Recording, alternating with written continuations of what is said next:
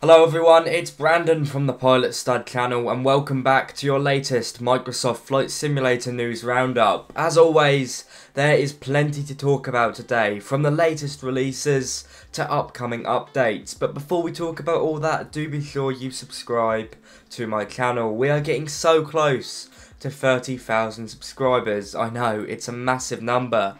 And to celebrate that, I will be running a massive giveaway, but only once we hit that giant number. So you know what you need to do if you have not done already. On that exciting note, let's get right into the sim news. As we approach the end of April, Sim Update 15 gets closer and closer. In spite of a few delays, April the 30th is the expected release date for this optimization focused update. Now as with most sim updates, most of the improvements are behind the scenes with hundreds of bug fixes and performance improvements, hopefully resulting in a tangible improvement in the user experience. That being said, I have had a go with Sim Update 15's beta, and I certainly cannot say I had a noticeable improvement in my Sim's performance, but with most updates in the past, when I've used the beta, the outcome is usually very different compared with the final build, with the final build being a lot better, so hopefully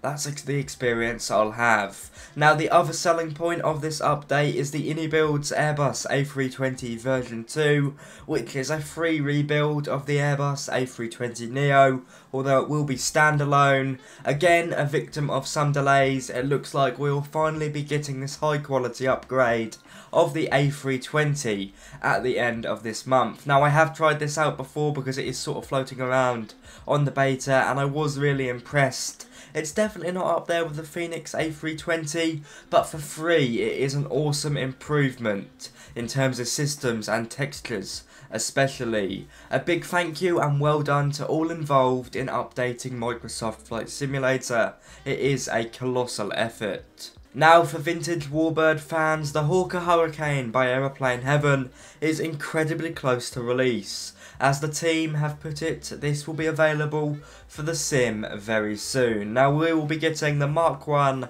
variant of the Hawker Hurricane. It will be payware and in this package you'll also get the Sea Hurricane and the tropical version as well. Uh, so if you're with the Sea Hurricane and you plan on operating this aircraft off aircraft carriers, all I'm going to say is good luck. That sounds difficult. This is a PC release initially, but the team do aim to get this on Xbox, and they are also working in the iconic Avro Lancaster.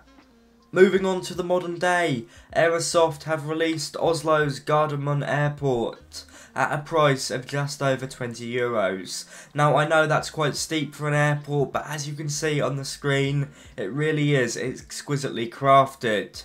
But the thing that stuck out to me is how well this airport performs on my computer, which is by no means a supercomputer.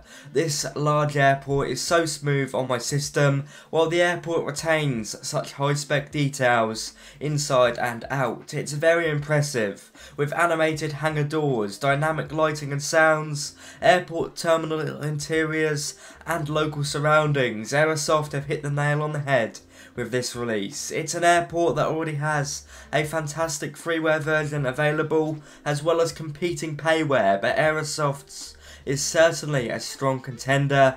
Next up in their airport lineup will be Frankfurt Airport, so if it's anything like this, keep a good eye out for that one, because this is bloody awesome.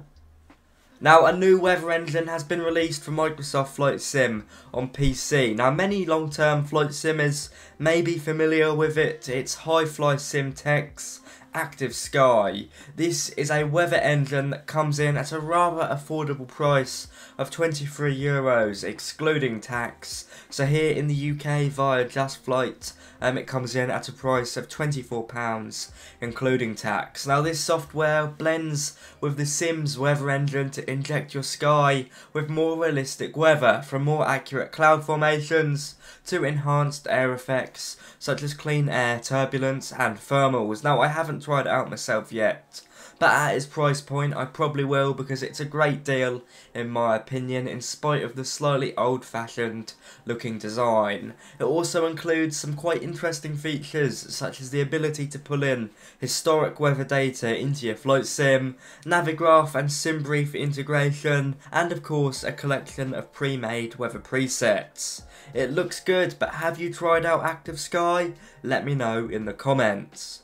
Now the Bluebird Simulations team have released yet more previews of their upcoming Boeing 757 for Microsoft Flight Sim to remind you all that not that I need to, this is payware for both PC and Xbox. And this time we get some very nice photos of the aircraft sat at the gate with some ground services. Of course there's not too much to say here aside from the fact you can see all the correct placement for all the surface vehicles as well as many doors wide open in the right places. On the screen we are seeing the 200 variant of the 757 as the 300 variant is about 7 metres longer with 4 main doors. It's looking really good in the Condor Thomas Cook livery. We will however be getting both variants of the 757, so the 200 and the 300 in a passenger configuration and then down the line we will also be getting a cargo variant.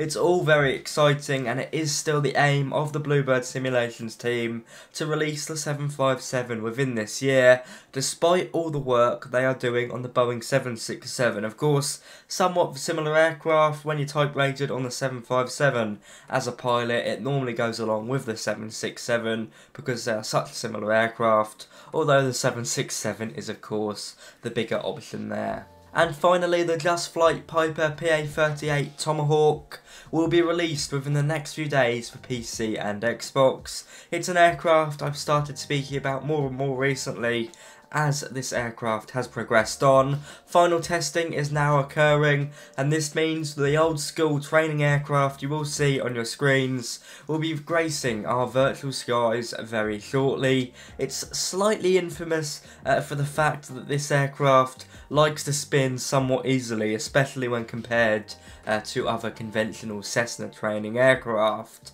But I'm sure many of you will be looking forward to flying it in the sim, because I know some of you in the comments have done quite a bit of your flight training on this aircraft. On that note guys, that's all we have time for today. I really hope you've enjoyed this flight sim news video. Over the next month, I'm going to try and focus on more sim content not just talking about the news, so hopefully that will go down a treat. But I hope you can walk away from this video with plenty of Flight Sim news in your head.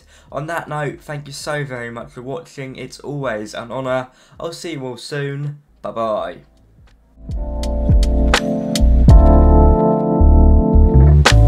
you.